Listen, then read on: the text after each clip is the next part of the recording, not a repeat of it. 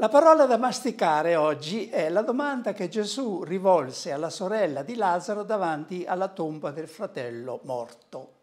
Credi tu? Lascia da parte per un momento tutto quello che hai imparato a memoria dal catechismo e che ripeti nel credo. Entra in quell'ambito segreto dove non ci siete che tu e Dio. Domandati, credo io?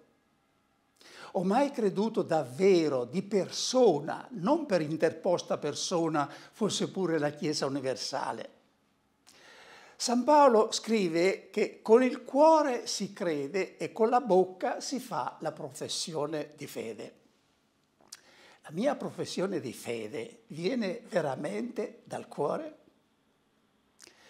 La fede apre orizzonti nuovi, è l'unica capace di dare risposta alle domande eterne eh, dell'uomo e della donna. Chi sono?